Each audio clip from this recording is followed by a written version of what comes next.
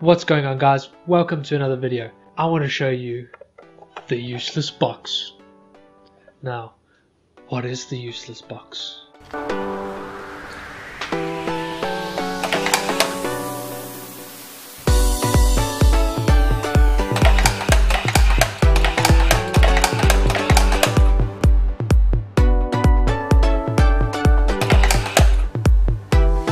So it's, it's just a random little trinket to have around the house. I mean, I've got one.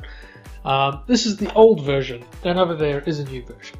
What I'm going to be showing you today is how I decided to take one that I had sitting around the house and transform it into something new. Uh, whether this is for a gift for someone or you just want to make something that's old and boring look new and awesome. So to build this model, all I did was create the PCB that existed as well as the box that exists already.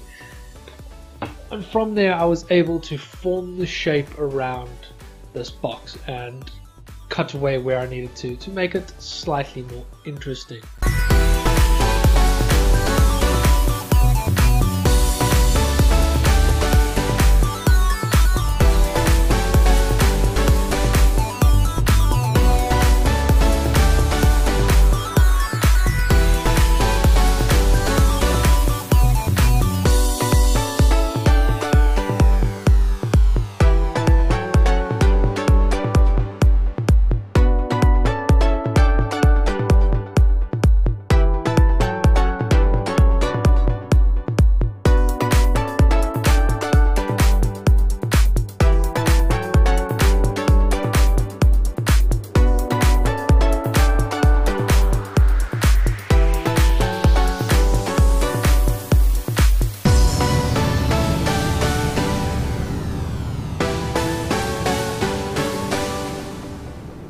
The entire box is designed to be 3D printed, um, no extra pieces. I've put little holes in here to put some dowels.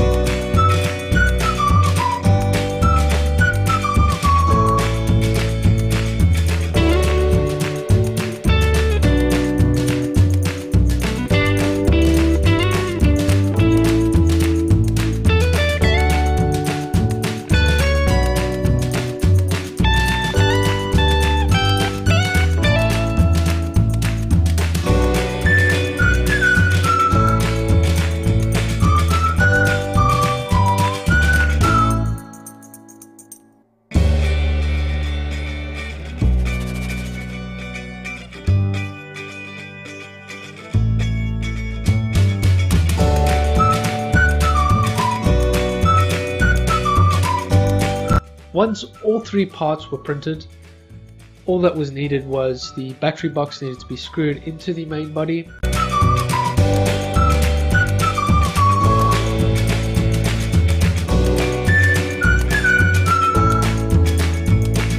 The PCB had to be attached to the static lid and then glued in place.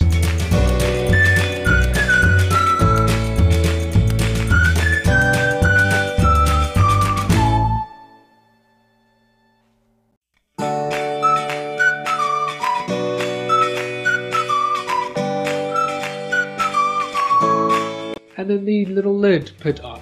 Um, the lid was a little bit sticky at first, but a bit of lubricants will sort that out, and you're left with a new looking box, which works exactly the same.